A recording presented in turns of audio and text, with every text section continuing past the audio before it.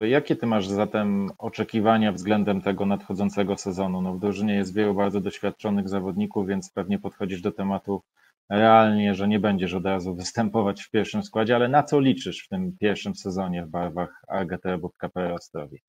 No na pierwszy sezon jeszcze będę musiał poczekać, ponieważ najbliższy, najbliższy sezon spędzę na wypożyczeniu jeszcze w jednym z warszawskich klubów.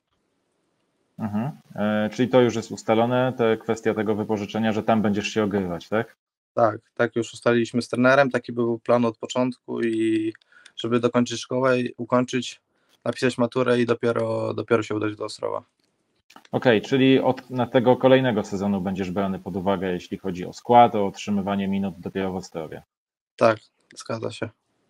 Mhm. E, wiadomo już dokładnie, jaki to będzie klub? Dokonaliście tego wyboru?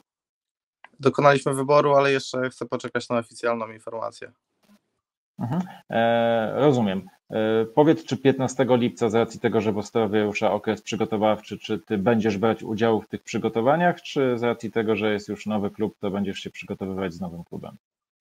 Znaczy, plan był taki, żeby, żeby przygotować się z Ostrowem do tego nowego, zbliżającego się sezonu, ale z racji, że, że junior U18 reprezentacja Polski przygotowuje się do Mistrzostw Europy, i zostałem powołany, to spędzę w Szczyrku na, na zgrupowaniu kadry U18.